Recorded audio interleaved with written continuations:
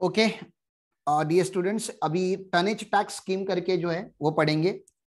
छोटा सा स्कीम है, वैसे तो ज़्यादा डीप में जाके पढ़ने की ज़रूरत नहीं है। बेसिक्स आपको पता होना चाहिए how to calculate tonnage taxation tonnage taxation जैसे सेक्शन 44 ए है हमारा presumptive taxation for GTA goods transport agents वैसे ही ये टनेज टैक्सेशन स्कीम जो है, वो शिपिंग कंपनी का है और शिपिंग कंपनी की कैपेसिटी को लेके। टनेज मतलब कितना उनका वेट कैरी करने का कैपेसिटी है। तो उनकी कैपेसिटी को लेके उन्होंने एक स्कीम निकाला हुआ है, जो स्कीम में आपको पहले बता देता हूँ कि कितना इस स्कीम में अगर आप आते हो तो कितना इनकम टैक्सेबल हो सकता है। तो ये देखो, ये डेली टनेज है। डेली टनेज इनटू आपको नंबर ऑफ़ डे से मल्टीप्लाई करना पड़ेगा, जितने दिन आपकी शिप ऑपरेशनल थी। तो daily tonnage income of a qualifying ship तो ये सारे वर्ड्स को आपको पढ़ना पड़ेगा अभी ऊपर जाके। अगर क्वालिफाइंग शिप का net tonnage up to thousand K G है मतलब अप टू थाउज़ेंड टन है, अगर उसका capacity is up to thousand ton तो सर टनेज इनकम निकलेगा कैसे? तो seventy for each hundred ton तो ये सेवेंटी पर टन नहीं है। सेवेंटी पर टन होता और अगर आपकी सेवन हंड्रेड टन की अगर कैपेसिटी होती तो seven hundred ton into seventy करते। नहीं नहीं नहीं। Seven hundred into seventy divide by hundred करना पड़ेगा आपको, क्योंकि आपको यहाँ पे seventy for each hundred ton बोला गया है, seventy for each hundred ton. बोलो, ये लैंग्वेज क्लियर है क्या? ये आपको बाय हार्ट करना पड़ेगा, ये टेबल आपको रटना पड़ेगा, इसका कोई चॉइस नहीं है। कहाँ पे सेवेंटी है, कहाँ पे फिफ्टी थ्री है, कहाँ पे फोर्टी टू है, इसका कोई लॉजिक नहीं है, आपको बाय हार्ट ही करना पड़ेगा नंबर्स का कोई लॉजिक नहीं है। रीडिंग समझ में आया कि आपको? जरा प्लीज़ रिप्लाई करो, कैसे इसको अप्लाई करना है? टनेज कैपेसिटी बेसिस पे लगाना है। एक्सीडिंग थाउज़ेंड अगर होगा but not more than ten thousand तो अभी आपकी वेसल और थोड़ी बड़ी हो गई। थाउज़ेंड से ज़्यादा है, जैसे थ्री थाउज़ेंड है फोर थाउज़ेंड है फाइव थाउज़ेंड है तो क्या करोगे आप? तो up to seven up to thousand का तो कैसे हुआ रहेगा? थाउज़ेंड टन का तो हमने कैसे कंप्यूट किया होगा? Sir thousand ton into seventy divide by hundred अगर आप करते हो तो ये दो ज़ीरो चलेगे, ये दो ज़ीरो चलेगी मल्टीप्लाई करोगे तो ये देखो सेवन हंड्रेड आता है। तो seven hundred rupees for first thousand और उसके ऊपर जितना भी है, जैसे पकड़ लो, मेरा वैसे लगा सिक्स थाउज़ेंड का है सिक्स थाउज़ेंड टन का है तो थाउज़ेंड टन का तो हमने हिसाब कर लिया तो अभी बैलेंस फाइव थाउज़ेंड टन का कैसे करेंगे? बैलेंस फाइव थाउज़ेंड टन का फिफ्टी थ्री के हिसाब से करेंगे। तो रेट हमने कम कर दिया, क्योंकि क्या होता है, जितनी बड़ी वेसल है ना, उतना आपका नेट ऑपरेटिंग रेवेन्यू कम हो जाता है। दिस इज़ द लॉजिक क्योंकि जितनी ज़्यादा आपकी वेसल होती है, आप उतना ज़्यादा डिस्काउंट वगैरह देते हो, क्योंकि बहुत बड़ी वेसल आप छोटे कंसाइनमेंट के लिए इंडिया में लेकर नहीं आओगे फॉरेन से या इंडिया किसी एक कंट्री से दूसरे कंट्री में नहीं लेके जाओगे। अगर आपकी वेसल बहुत बड़ी होती है मदर वेसल होती है तो आपको उतना ज़्यादा डिस्काउंट देना पड़ता है, तभी जाके आपके पास बल्क क्वांटिटी आपके पास टन शिपमेंट के लिए आती है। तो 53 for each of 100 ton exceeding 1000 ton जितने भी होंगे तो 5000 के ऊपर ये 53 इनटू टन, जितने भी एक्सेस टन है डिवाइड बाय 100 आपको करना पड़ेगा। सर, वही अगर 10000 के भी ऊपर गया तो तो 10000 के ऊपर गया तो कैलकुलेट करके बताओ मुझे जरा। Thousand into seventy divide by hundred is equal to seven hundred होता है। और एक कैलकुलेशन आप मुझे करके दिखाओ। Nine thousand ton into fifty three divide by hundred कितना होता है बताओ मुझे आप। प्लीज़ कैलसी यूज़ करो और मुझे नंबर बता दो। Nine thousand ton into fifty three divide by hundred कितना होता है ये? Four thousand seven seven hundred होता है। सेवन सेवेंटी होता है। Four thousand seven hundred and seventy होता है। प्लस सेवन हंड्रेड इनका टोटल करेंगे तो ये कितना आता है? इन दोनों का टोटल करेंगे तो।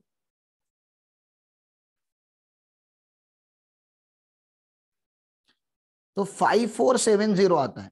तो आपको ये नंबर बाय हार्ट करने की ज़रूरत नहीं है। एग्जैक्ट टेन थाउज़ेंड होगा तो five four seven zero slab जैसे आप अप्लाई करते हो, वैसे ही अप्लाई करना है इसको। तो फाइव फोर सेवन ज़ीरो आपको बाय हार्ट नहीं करना, आपको पता होना चाहिए फाइव फोर सेवन ज़ीरो आया कैसे अगर टेन थाउज़ेंड का टनेज अगर मेरा होगा तो वन थाउज़ेंड को सेवेंटी पर हंड्रेड टन के रेट से मल्टीप्लाई करना है। और जो बैलेंस नाइन थाउज़ेंड है, उसको फिफ्टी थ्री पर हंड्रेड टन के हिसाब से मल्टीप्लाई करना है। तो ये फाइव फोर सेवन ज़ीरो आया। सर उसके ऊपर भी जो है, उसके ऊपर जो है, उसको फोर्टी टू पर हंड्रेड टन से मल्टीप्लाई करना है। टेन थाउज़ेंड के ऊपर जितना भी रहेगा, उसको मल्टीप्लाई करना है आपको फोर्टी टू रुपीज़ पर टन से ट्वेंटी फाइव थाउज़ेंड तक। तो अभी और एक कैलकुलेशन करो मेरे लिए please fifteen thousand ton multiply by forty two divide by hundred ये कितना आता है?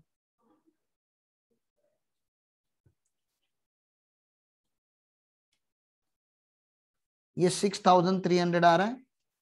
Six thousand three hundred plus four seven seven zero plus seven hundred ये कितना आ रहा है देखो।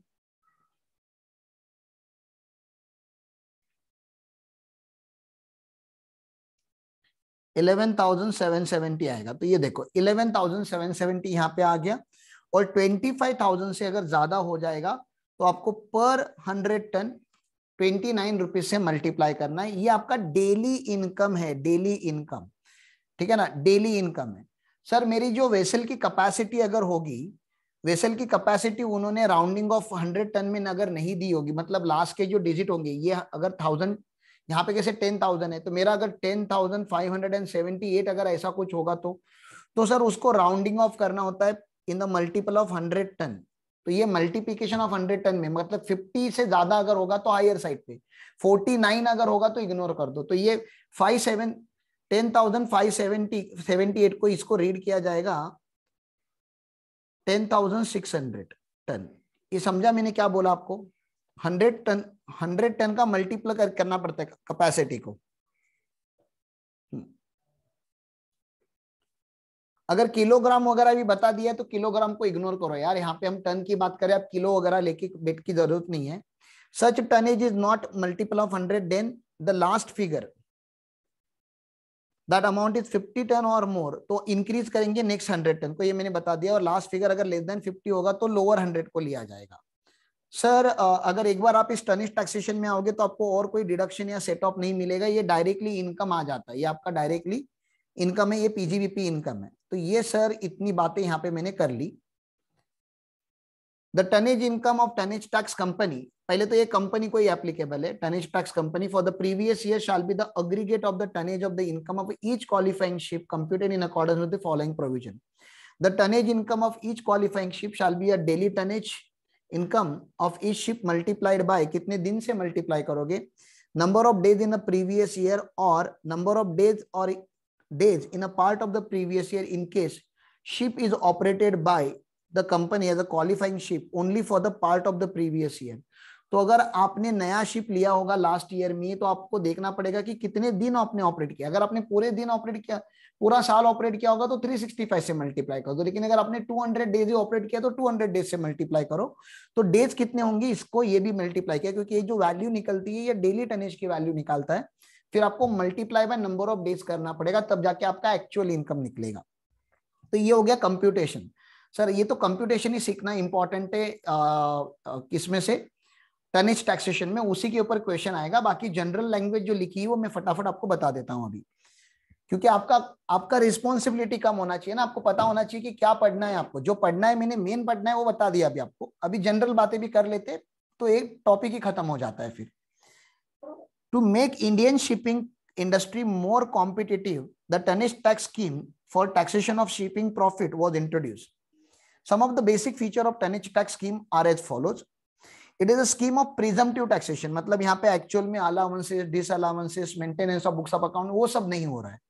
It is a scheme which is a presumptive taxation where a notional income arising from the operation of a ship is determine based on the tonnage of the ship तो capacity है? Actual में आपने कितना कमाया? हम वो नहीं देख रहे. The notional income is tax at a normal corporate rate applicable for the year कोई स्पेशल रेट नहीं है टनेज के लिए। अगर आपकी कंपनी 25 परसेंट में है तो 25 परसेंट आपकी कंपनी 30 परसेंट में है तो 30 परसेंट में टैक्स होगी। Tax is payable even if there is a loss in that year क्योंकि हम तो नोशनल इनकम निकाल रहे हैं नोशनल इनकम निकाल रहे हैं तो नोशनल बेसिस पे टैक्स भरना पड़ेगा। A company may opt for the scheme and once option is exercise there is a lock in period of ten years ओहो, ये देखो। 44 एडी में lock in period five years का था, यहाँ पे टेन ईयर्स का है तो ये भी एक इंपॉर्टेंट बात है। If company opt out it is divided from reentry for ten years तो आप कभी भी एग्जिट ले सकते हो। एग्जिट लेने में हमें कोई प्रॉब्लम नहीं, लेकिन जब भी आप एग्जिट लोगे, आप री एंटर नहीं कर सकते और दस सालों के लिए। फोर्टी फोर एडी में पाँच पाँच का कॉम्बिनेशन है। पाँच ईयर का लॉक इन पीरियड होता है एग्जिट लोगे तो और पाँच साल आप नहीं आ सकते, उसी के जैसा है। Since it is the preferential regime of taxation certain condition like reserve and training etcetera are required to be made तो इन्होंने कुछ कंडीशंस बताए कि आपको रिज़र्व भी कर, क्रिएट करना पड़ेगा आपको अपने स्टाफ को ट्रेनिंग भी देना पड़ेगा ऐसी बात है क्योंकि इंडस्ट्री को हम ग्रो करना चाहते हैं। A company may expelled certain in certain circumstances company को बाहर भी निकाला जा सकता है। Company owning at least one qualifying ship आपके पास एक तो आपकी खुद की ओनरशिप होनी चाहिए बाकी आप लीज आउट करके चलाओ लेकिन खुद का एक तो क्वालिफाइंग शिप आपके पास होना चाहिए। A company owning at least one qualifying ship में join a qualifying ship is one with a minimum tonnage of 15 tons and having a valid certificate तो मिनिमम 15 टन की वो शिप होती है, छोटी सी बोट होती है और आपके पास उसका क्या होना चाहिए? सर्टिफिकेट होना चाहिए। Certain type of ships like fishing vessels, pleasure crafts etc are excluded in the terms of 15v तो कुछ मतलब फिशिंग विसल्स वगैरह की बात यहाँ पे नहीं हो रही है, खास करके हम फिशिंग की बात ही नहीं कर रहे अगर आप फिशिंग करोगे तो शिप डिसक्वालीफाइड हो जाती है टू सम एक्सटेंड उन्होंने अलाउ किया हुआ है, लेकिन हम फिशिंग वेसल्स की बात नहीं करें, हम टनेज की बात करें, जहाँ पे कंटेनर लोड करके शिपिंग किया जाता है। Certain types the business of operating qualifying ship is to be consider separate business and separate accounts are to be maintain section hundred and fifteen which give the manner of competition of daily tonnage income which when multiplied by number of days the ship operated will give you total tonnage income from the ship a company owning at least one ship may charter in a ship subject to the certain limit of this वो सब उन्होंने बोला है कुछ charter वगैरह भी कर सकते हो भाड़े पे भी ले सकते हो A company opting for the scheme is not allowed for any set of nor any de depreciation allowed. However, both the loss and depreciation are deemed to be have been allowed. तो माना जाएगा कि आपको depreciation भी दे दिए बाकी सब दे दिया से, सेम बातें सेम बातें जो 35 फाइव एडी की है अपना फोर्टी फोर एडी की है वही बातें यहाँ पे भी की गई है। Although depreciation is not allowed it is necessary to bifurcate qualifying ship and non qualifying ship at the time of company join the ship hundred and VK lay down the method of allocating the written down value कैसे वो depreciation कैसे निकाल के उनको कैसे allocate किया जाएगा वो सारी बातें की गई ये भी इंपॉर्टेंट नहीं है। Business of operating qualifying ship will not be taken for the consideration for the purpose of MAT as per hundred and fifteen भी मैट में से एग्जामेशन दे दिया। फिर यहाँ पे प्रोसीजर वगैरह लिखा है। ये ये पढ़ लेना आप लोग। पढ़ना है तो। इतना इंपॉर्टेंट नहीं है। क्वालिफाइंग शिप ठीक है? ऑप्शन है ऑब्वियसली मैंडेटरी नहीं है। आपके पास चॉइस है। A company shall be regarded as operate operating a ship if operate any ship whether own or chartered by it and include the case even a part of the ship has been chartered by it तो पूरा boat अगर आपने नहीं लिया है thirty percent अगर ship अगर आपने लिया है तभी भी ये माना जाएगा कि आप इस बिज़नेस में हो स्लॉट चार्टर बोलते हैं उसको या space charter however company is not regarded as operating ship which has been chartered out by it.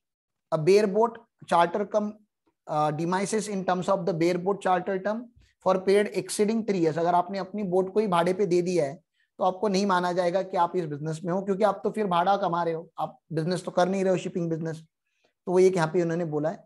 Qualifying ship की यहाँ पे बात की गई है सी गोइंग वेसल होनी चाहिए, पंद्रह टन पंद्रह टन का तो नेट कैपेसिटी इसका होना चाहिए। मर्चेंट शिपिंग एक्ट में रजिस्टर्ड होना चाहिए वैलिड सर्टिफिकेट होना चाहिए, ये सब बातें इन्होंने की गई है। हाँ ये क्या नहीं होता क्वालिफाइंग शिप क्या नहीं होता नेगेटिव लिस्ट देख लो इसकी। फैक्ट्री शिप है प्लेजर क्राफ्ट है हार्बर है रिवर फेरीज है शी गोइंग सेफ़ है for main purpose for which it is provision of goods and services इनी मतलब आप रेस्टोरेंट वगैरह चलाते हो ऑफशोर इंस्टॉलेशन है फिशिंग वेसल है and qualifying ship which is use for fishing अगर आप क्वालिफाइंग शिप को फिशिंग के लिए यूज़ कर रहे हो for period more than thirty days during the previous year तीस दिन तक यूज़ करोगे हमें कोई प्रॉब्लम नहीं, लेकिन तीस से ज़्यादा दिन के लिए अगर यूज़ करोगे तो वो भी डिस्कालीफाइड हो जाएगा। क्वालिफाइंग कंपनी मतलब इंडियन कंपनी को ये बेनिफिट दिया गया है। Place of effective management India में होना चाहिए। एटलीस्ट वन क्वालिफाइंग शिप होना चाहिए और मेन बिज़नेस इनका बिज़नेस ऑफ़ ऑपरेटिंग शिप होना चाहिए। ये उन्होंने बोल दिया है। टनेज इनकम की मैंने बात कर ली।